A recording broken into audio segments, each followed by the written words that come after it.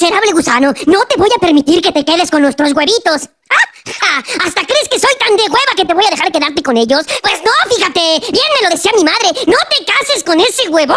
¿Sabes qué? Pareces un huevo tibio, te falta huevo.